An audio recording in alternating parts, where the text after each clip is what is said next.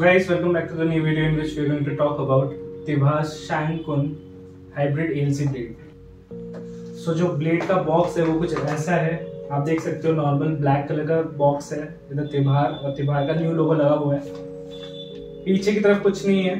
नीचे की तरफ़ लिखा हुआ है एस के hybrid A C straight straight इसलिए क्योंकि स्ट्रेट हैंडल है ये। So out of the box कुछ ऐसा दिखता है आपका ब्लेड आप देख सकते हैं शैंकुन hybrid AC made in Japan तिभार so so, चलिए इसके बारे में कुछ बताते हैं आपको। सो so, जैसे कि पता है ये जो ब्लेड है ये जापान में बनाया गया है। ने फ़र्स्ट टाइम यूरोपियन मैन्युफैक्चर से ना बनवा के जो ब्लेड है वो जापान में बनवाया गया ये एक इनोफोस एएलसी ब्लेड है। देखने में बहुत प्रीमियम लगता है। So, जो ब्लेड है उस पर आप देख सकते हो जो ग्राफिक्स है कुछ इस तरीके का दिखता है। आप देख सकते हो शैंकुन hybrid AC made in Japan लिखा हुआ है ग्राफिक्स में। बैक साइड कुछ भी नहीं है प्लेन है। हैंडल की तरफ़ देख सकते हो शैंकुन हाइब्रिड एसी लिखा हुआ है और शॉर्ट फॉर्म एस लिखा हुआ है। नीचे की तरफ़ मेटल ब्रांडिंग दिया हुआ है। एंड पीछे की तरफ़ एस के का एक लोगो लगा के रखा हुआ है। सो so, आगे बात करते हैं ये ब्लेड किन लोगों के लिए? सो so, ये जो ब्लेड है ये एक ऑफेंसिव कैटेगरी का ब्लेड आ रहा है। जो इसका टाइप है वो है ऑफेंसिव प्लस ये जो ब्लेड है ये offensive plus one and offensive के बीच में लाई कर रहा है। समथिंग अराउंड ये बोल सकते हो ऑफेंसिव पॉइंट फाइव ये मैं अपने हिसाब से बता रहा हूँ क्योंकि ये ज़्यादा फास्ट भी नहीं है ज़्यादा स्लो भी नहीं है। सो so, ये एक इनफोस एएलसी ब्लेड है। तो आपको पता है इनफोस एएलसी ब्लेड में आपको कंट्रोल ज़्यादा मिलता है। एंड मैं रिकमेंड भी यही करता हूँ कि आजकल के टाइम पे जब ऑफेंसिव आपको खेलना है बट आपको अगर कंट्रोल नहीं मिलेगा तो वो ब्लेड आपके लिए वर्थ इट नहीं। आपको पता है इनफोस एएलसी में आपको कंट्रोल भी बहुत अच्छे से मिलेगा, आपको जब पावर मिलेगा, जब आप टॉप स्पिन दूर दूर से हिट करोगे तो आपको कार्बन का फील मिलेगा एंड जब टच प्ले करोगे, उस टाइम पे आपको एक वोडी फील मिलेगा।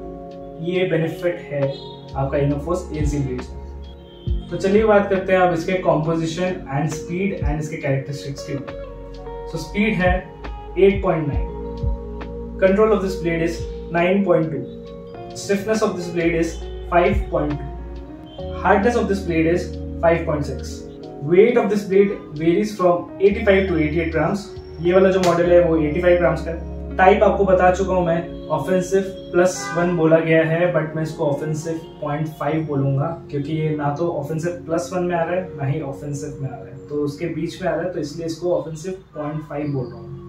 कॉम्पोजिशन आपको पता है मैंने बता दिया एक इनफोस एल सी ब्लेड है तो आपको समझ आ ही गया होगा। पहले दो प्लाई होंगे वो वुड होंगे उसके बाद ए लेयर है उसके बाद कोर वुड है एंड उसके बाद रिपीट होगा सो अब मैं इसका कॉम्पोजिशन बताने जा रहा हूँ। So composition of this blade are limba, penultimate, ALC, OS, ALC, penultimate and limba. So अब बात करते हैं ये ब्लेड किन लोगों को यूज़ करना चाहिए? ये ब्लेड उन लोगों के लिए है जो अपना गेम में और कंट्रोल लाना चाहते हैं। वो ऑफेंसिव गेम प्ले खेलना पसंद करते हैं बट उनको साथ ही साथ अपना गेम पे कंट्रोल भी बहुत लाना है। ये उनके लिए ये ब्लेड बहुत अच्छा है। आपको पता है इनफोस ए एल जो होते हैं, वो आपको कंट्रोल लाने में बहुत हेल्प करते हैं। एंड वैसे ही, जैसे आप टच प्लेस करने जाओगे तो उस टाइम पे भी आपको बॉडी फील मिलेगा। आपको पता है कि बॉडी फील में आपको कंट्रोल ज़्यादा मिलता है as compared to outer carbon blades जैसे आपका टीमोबोल एल हो गया, या फिर कोई भी और भी रैकेट्स ले लो स्कारिया ले लो। जितने भी आउटर एल सी ब्लेड्स होते हैं, उसमें आपका, आपको पता है कि आपका कंट्रोल बहुत कम रहता है as compared to Innerforce L C blades so that's why ये जो ब्लेड है, आपको बहुत हेल्प करेगा, आपको गेम में कंट्रोल लाने ये याद रखना table tennis is all about control आप कितने पावर से भी मान लो, वो मैटर नहीं करता.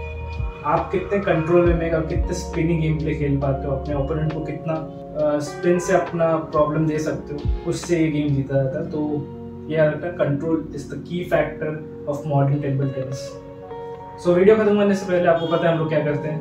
वो है साउंड टेस्ट